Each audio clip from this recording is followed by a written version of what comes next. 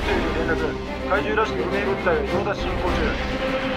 家督隊戦銃班班長の田村です。怪獣はなぜかこの国にしか出現しないんだ。核廃棄施設まであともう一つしかない。君の来訪の目的は何だ？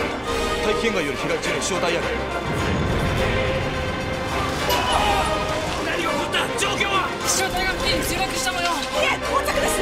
対象物が動いています。あれがウルトラマン